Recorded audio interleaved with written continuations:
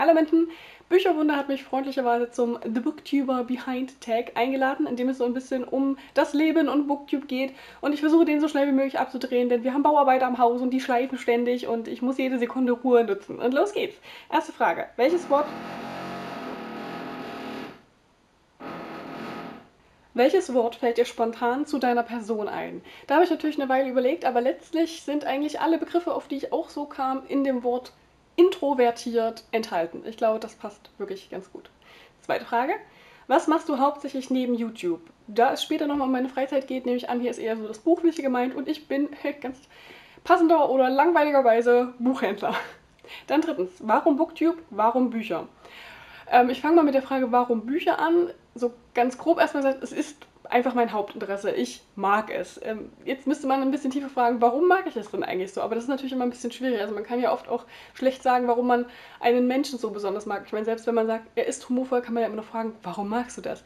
Bei Büchern und mir ist es so, dass ich finde, es ist die perfekte Mischung aus einerseits Unterhaltung und andererseits aber auch so Bildung und Anspruch. Das heißt, Bücher ähm, erfüllen so für mich einerseits diesen Eskapismuswunsch, sie vermitteln mir aber auch Wissen, und sie haben mich definitiv zu einem besseren Menschen gemacht. Und das finde ich natürlich großartig, wenn das alles in, in einem Medium enthalten ist. Ich, ich kann das aus Spaß lesen, es fordert mich aber manchmal auch. Es gibt Bücher, die finde ich anstrengend. Das gefällt mir sehr, sehr gut. Um mal ein mehr oder weniger Gegenbeispiel zu nennen, ich habe früher auch halbwegs viele oder mehr oder weniger Videospiele gespielt. Und inzwischen gibt es ja auch ganz, ganz großartige, tiefsinnige Spiele. Ich kriege das auch durch meinen Partner aktuell immer noch so ein bisschen mit. Aber ich persönlich würde, glaube ich, nie auf meinem Sterbebett liegen und sowas sagen wie, dieses eine Spiel, das hat mich als Mensch verändert. Ich möchte, dass das die kommenden Generationen auch noch spielen, während ich mir das bei Büchern durchaus vorstellen kann. Es gibt eine ganze Menge Bücher, die mich als Mensch verändert haben und ähm, das ist halt ein großartiges Medium für mich. Also ich habe auch nichts dagegen, oder natürlich habe ich nichts dagegen, wenn andere Leute das von Spielen oder von Filmen sagen, aber für mich trifft das eben auf Bücher zu. Warum jetzt Booktube? Das ist schon ein bisschen schwierig zu beantworten aber da spielt meine erste Antwort mit hinein. Ich bin introvertiert und es fällt mir viel, viel leichter, zu einer Kamera zu sprechen, als zu einem real vor mir sitzenden Menschen. Ähm, aber ich habe mich natürlich trotzdem so ein bisschen nach Austausch gesehnt. Also, äh, aber auch wiederum nicht, denn ich habe auch Germanistik studiert und mit dem Master abgeschlossen, auch nicht so in die akademische Richtung. Deswegen habe ich halt auch keine akademische Laufbahn weiterverfolgt, sondern ich wollte mich eher so enthusiastisch, privat, so ein bisschen normal über Bücher austauschen. Und die interessantere Frage ist eigentlich, warum ich keinen Blog gewählt habe, denn ich bin der Meinung, dass ich mich schriftlich viel, viel, viel, viel besser ausdrücken kann als mündlich. Aber gerade deswegen habe ich mich für Booktube entschieden, damit ich das quasi so ein bisschen lernen kann, damit ich ähm, besser darin werde, mich mündlich auszudrücken. Ich erwische mich zum Beispiel auch dabei, wie ich auf Arbeit fast dieselben Sätze sage wie in einem Video, wenn ich eben ein Buch empfehle. Also ich lerne das so ein bisschen durch Booktube und ich hoffe, es wird äh, besser. So, nächste Frage. Was machst du in deiner Freizeit? Das ist auch ganz langweilig. Hauptsächlich lese ich. Ähm, ich würde immer noch sagen, dass auch Zeichnen irgendwie ein Hobby ist, wenn ich das auch schon sehr, sehr lange nicht mehr regelmäßig gemacht habe. Letztens durch einen Tag wurde das Interesse mal wieder so ein bisschen geweckt oder überhaupt mal die Frage, ob ich das mal wieder etwas öfter machen möchte.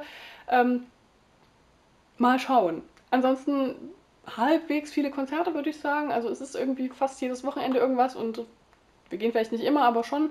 Und ja, Kino schon auch, aber ich bin jetzt kein richtiger enthusiastischer Cineast, auch wenn ich Filme sehr, sehr mag und, ähm, und zwar auch viele Filme. Also ganz andere Richtungen als die Geschichten, die ich in Büchern lese zum Beispiel. Nächste Frage.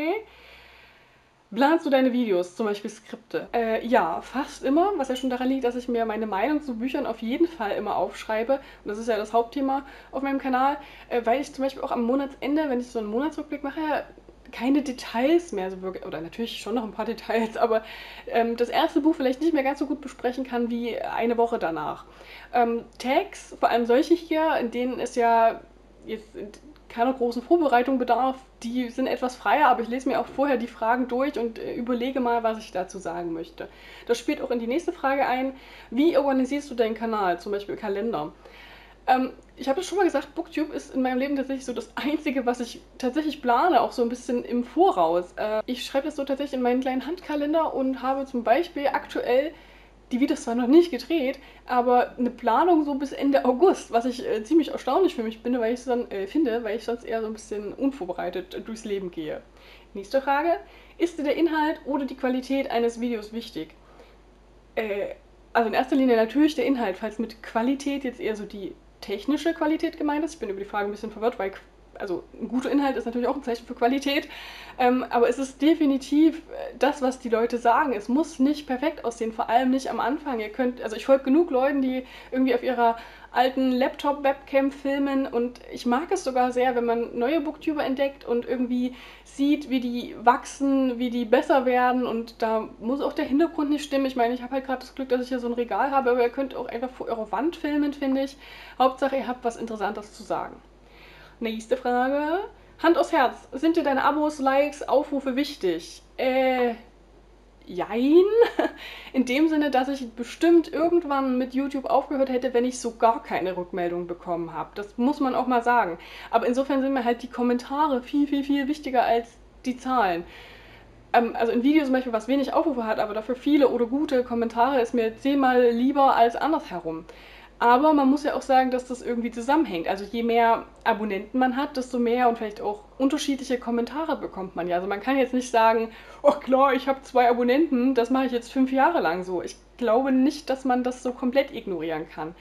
Aber, das muss ich auch sagen, ich habe das Gefühl, dass es bei mir so ungefähr seit vielleicht so 300 Abonnenten ähm, tatsächlich nicht mehr so wichtig ist, weil der Kreis an Kommentatoren so ein Großteil gleich bleibt. Also diejenigen, die, die gut und viel und äh, interessantes Kommentieren. Das sind so ein bisschen dieselben. Das sind auch diejenigen, die ich jetzt näher kennengelernt habe, die, mit denen ich teilweise auf ähm, WhatsApp zum Beispiel schreibe oder meine persönliche Nachricht und sowas.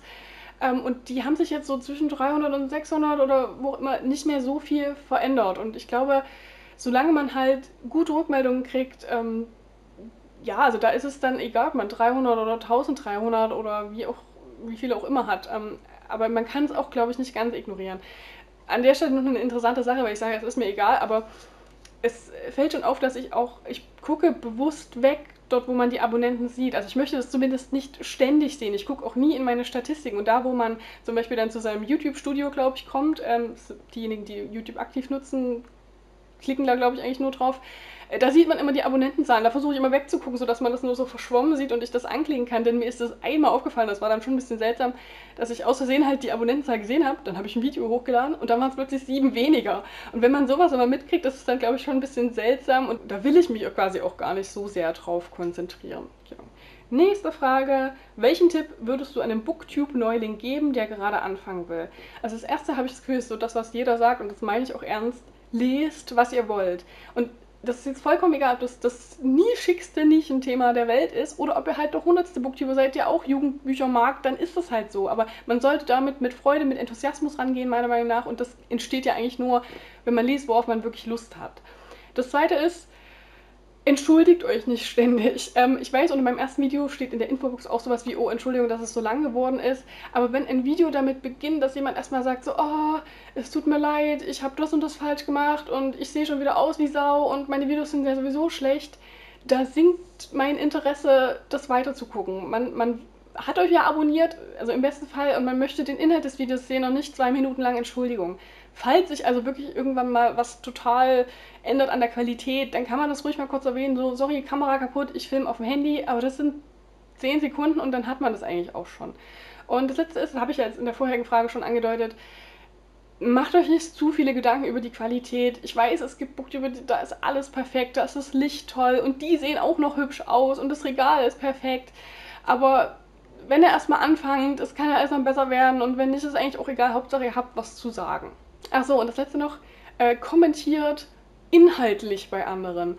Äh, ich finde das ganz, ganz furchtbar. Wenn, also manchmal, wenn es passt und Leute sagen, darüber habe ich auch ein Video gemacht, okay. Aber wenn Leute sagen, ja, hallo, ich bin neu, guck doch mal vorbei oder ähm, hier, hier, ich bin hier, sondern Leute wollen dass er mit ihnen ins Gespräch kommt und wenn man merkt, das ist ein kluger Kommentator oder so, dann, dann guckt man da auch eher vorbei. Also ja, drängt euch nicht so sehr auf. Ich weiß, man will am Anfang gerne Austausch, aber lasst es eher natürlich kommen. So, äh, dann zehntens ein Random Fact über mich und der wäre bei mir, dass ich äh, eine inzwischen recht blasse Narbe auf der Wange habe, die dadurch entstanden ist, dass meine Oma mich außersehen natürlich mit dem Bügeleisen plättete. Leben. So, und die, die elfte Frage, das ist jetzt eine, die, die ich und die Getagten speziell von Bücherwunde bekommen haben. Das heißt, diejenigen, die ich tagge, bekommen dann eine andere. Aber meine lautet, Was wolltet ihr in eurer Kindheit werden? Das finde ich sehr amüsant, denn das war Torwart. Ähm, und das kann ich heute absolut nicht mehr nachvollziehen. Ich hasse Sport, ich hasse Fußball. Also was heißt hassen? Also für mich persönlich, ich würde das niemals machen. Es interessiert mich null. Ich bewege mich so wenig wie möglich. Ähm, aber damals war ich halt sehr anders. Sowieso meine Kindheit und ich, wir sind ähm, so kontrovers, wie man nur sein kann. Und später, also so mit 12, 13, war es dann nochmal Ethnologe. Und dann entwickelte sich das so ganz langsam Richtung Kunst, Literatur, Geisteswissenschaften und so. So, ich möchte drei mehr oder weniger Booktyp-Neulinge taggen, denn von denen weiß man einfach nicht so viel. Das erste Wesen, was ich taggen möchte, ist Fräulein Niemand. Außerdem interessiert mich das von Bookmarked. Und ich weiß nicht, ob sie sowas mitmacht, aber sie ist relativ neu, weil ich möchte sie sich nochmal auf die Weise vorstellen, aber Britta Böhler ich weiß nicht, ob du Text mitmachst, ob du das doof findest, aber ähm, vielleicht ist es ja eine gute Möglichkeit für euch drei, uns etwas näher an eurem Leben teilhaben zu lassen. Und äh, euch dreien möchte ich die Frage stellen, was war das gleich nochmal? Achso, ja, wenn du nur ein Buch von deinem Stapel ungelesener Bücher behalten dürftest, alle anderen kommen weg, wohin auch immer, welches Buch wäre das? So, dann danke ich euch fürs Zuschauen. Ich äh, was sage ich immer am Anfang? Genau, like, comment, subscribe. Nein, ähm, ich freue mich natürlich über Kommentare und äh, ich hoffe, wir sehen uns das nächste Mal. Achso, und das letzte noch. Ugh.